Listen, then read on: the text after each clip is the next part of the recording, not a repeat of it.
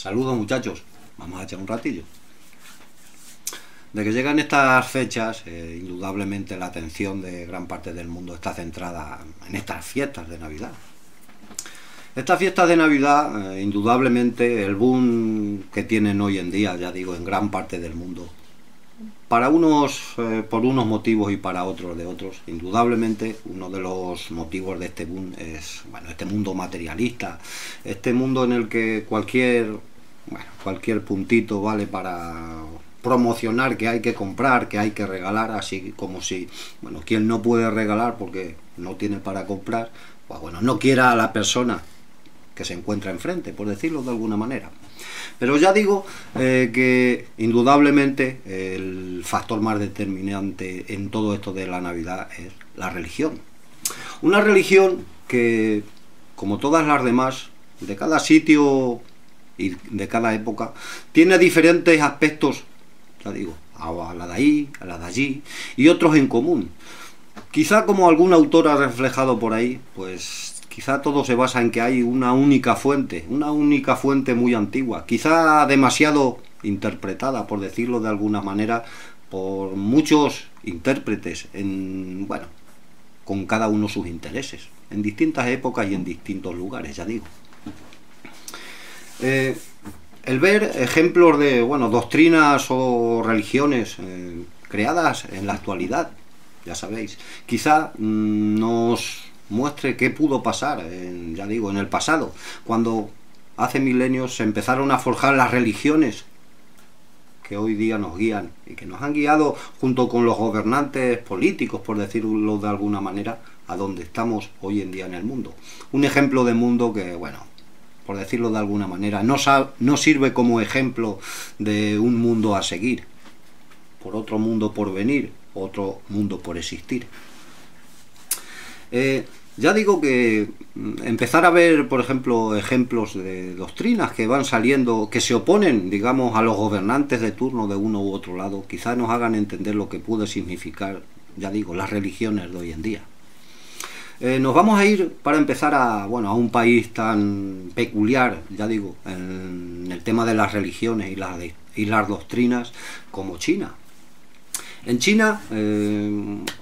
más o menos de que se, bueno, de que Mao Zedong llegó al poder, eh, diferentes formas de, bueno, evadir, evadir que se estaba en contacto, digámoslo así, con alguna religión, fue crear una corriente que, bueno, bautizaron con Jillón. Este Jillón era como, bueno, unas especies de doctrinas que bien, podíamos situar, por decirlo de alguna manera, en el gnosticismo, en esa otra religión que, bueno, nos hace parte mm, de esa divinidad, como significa religión, unión con la divinidad. Esa divinidad de la que formamos parte, no que hay una divinidad, bueno, encima de todos y esa divinidad está para que todos lo adoren y todos hagan lo que esa divinidad manda. Y por supuesto todo ello contemplado en que hay unos dirigentes aquí que en realidad parece ser que se han creído que son los verdaderos dioses, porque eso es lo que hacen, cambiar y poner leyes allí o aquí a su conveniencia, a su interés. Que nada tienen que ver con quizá las palabras reflejadas o los actos supuestos reflejados por una u otra deidad de la antigüedad en la que basan su poder, su palabra de hoy en día. Ya digo que mm, dentro de esta corriente de Gillón en la que, ya digo, muchos militares, muchos, mm, digamos, gente con puestos un poco relevantes dentro del organigrama de Mao Zedong, pues empezaron a seguir estas especies de doctrinas, por decirlo de alguna manera, para completar su cultura, esa cultura que arranca mirando desde dentro y, bueno, quizás expandiendo lo que encuentra dentro hacia afuera. Eh, Hongxi fue bueno, uno de estos creadores de bueno, una u otra doctrina dentro de todas estas corrientes. Este, bueno, este personaje apareció en vida pública, al parecer, a primeros de los años 90 del pasado siglo. Eh, en poco más de tres o cuatro años,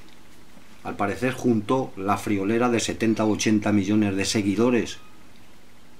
de seguidores devotos en China. O sea, un número de fieles que se comprometían incluso, mm, bueno, incluso haciendo ya, digamos, especie de protestas ante el gobierno,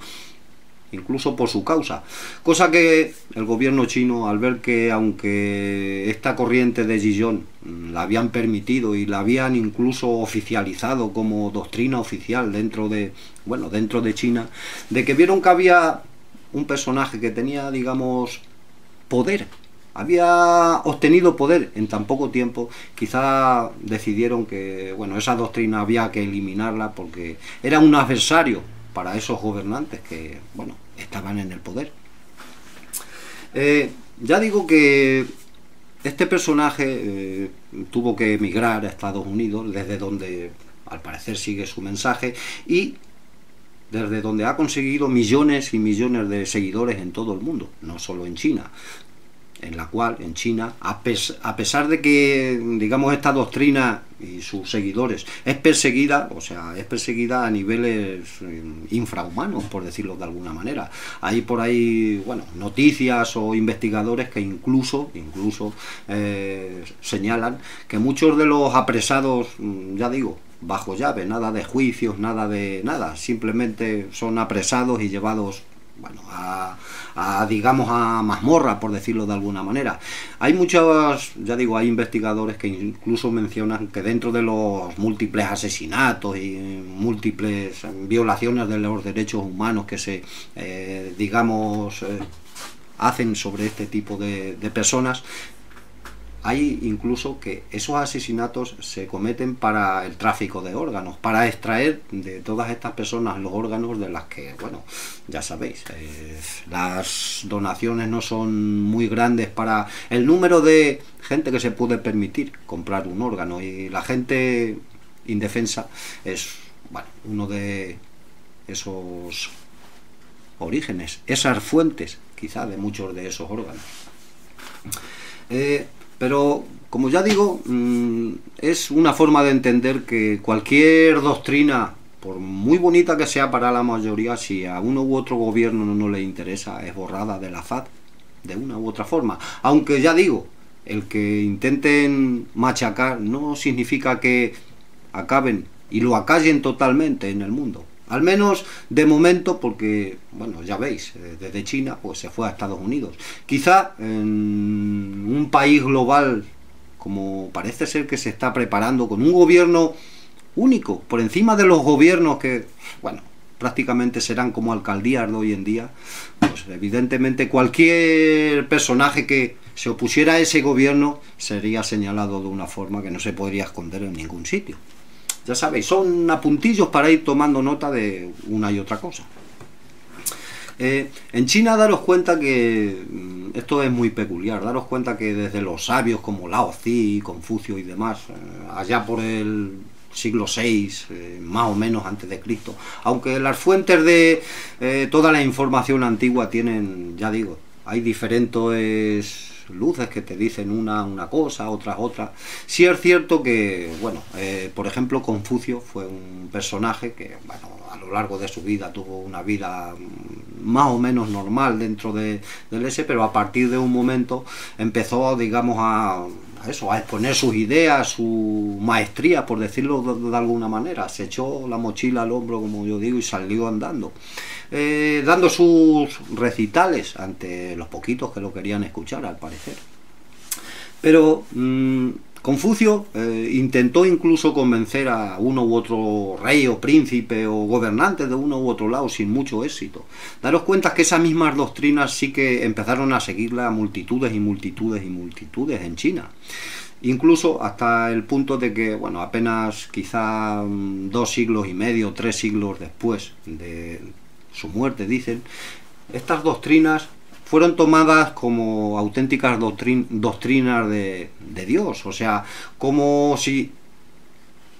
unas viejas palabras de un filósofo, no escuchado por ningún gobernante, como se habían hecho grandes esas palabras a lo largo del tiempo, pues bueno, siempre hay uno que dice, yo me apunto a que este sea el que me ha dicho a mí que es Dios y lo tenéis que venerar según yo os diga, ya sabéis. Por ejemplo, Confucio eh, hacía hincapié en que el respeto mutuo siempre entre uno u otro escalón, entre el gobernante y bueno, la persona a la que lo gobierna. Siempre tiene que haber una relación de mutuo respeto en la que si bien uno eh, bueno, tiene que venerar y obedecer al otro, el otro debe merecerlo para que esto ocurra, por decirlo de alguna manera. Cosas que, ya digo, al parecer con el paso de los años eh, tomaban la parte que les interesaba a los gobernantes y decidían que ese confucianismo, esa nueva religión, sería esa que obligaba a todos a venerar al, bueno, ya sabéis, al gobernante, incluso la mujer al, al marido o el hijo al padre, por encima de, bueno, los pensamientos siempre del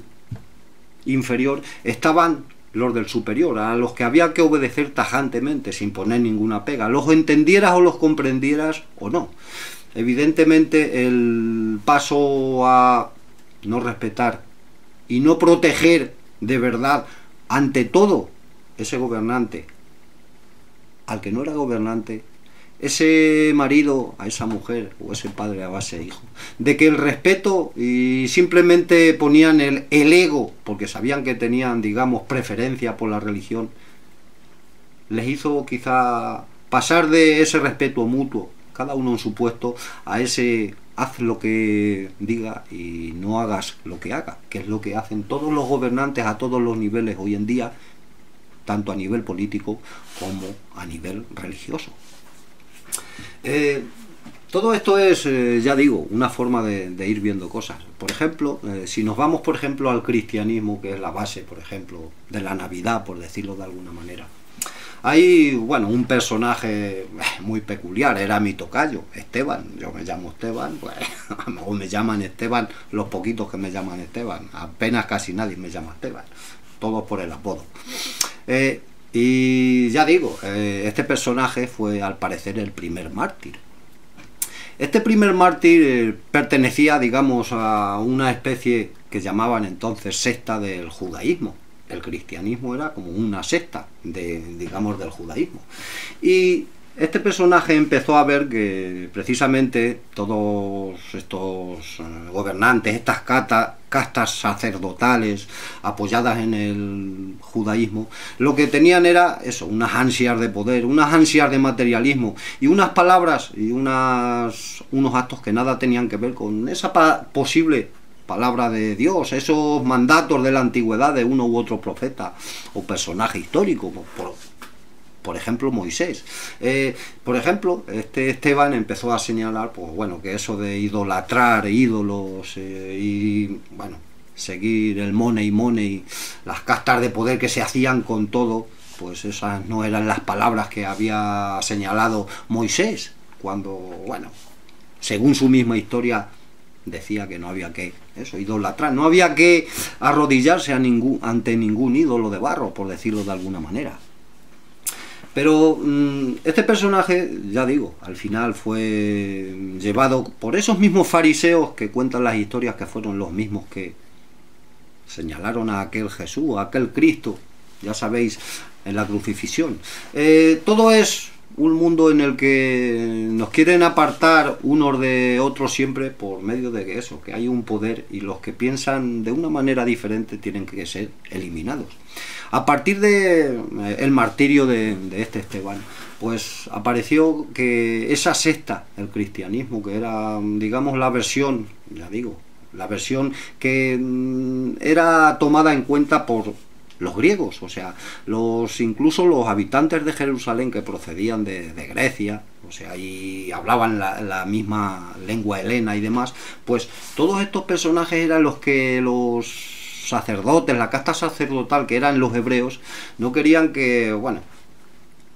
se acoplaran entre ellos. Eh, querían mantener como que la religión eran ellos y la secta eran los otros. No era igual un judío heleno que un judío hebreo, o sea, por decirlo de alguna manera. Era como que ellos estaban por encima. Entonces, eh, este Esteban, pues, bueno, ya sabéis, fue mm, martirizado y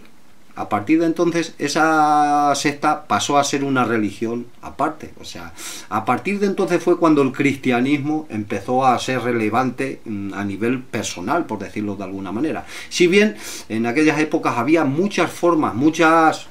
que llamaban sectas, que miraban ese judaísmo o esa parte del judaísmo de, muchas formas. Daros cuenta que había numerosos escritos, numerosos profetas, numerosas, ya digo, sectas, que nada tenían que ver con la palabra que intentaban, ya digo, distribuir estas sectas, estas mm, sectas altas porque eran simplemente eso. Esa casta sacerdotal simplemente quería estar por encima de los demás y que su palabra fuera única. Ya digo, todos los demás que estaban fuera de su familia no tenían nada que decir en lo que significaban estas o aquellas escrituras, ya digo.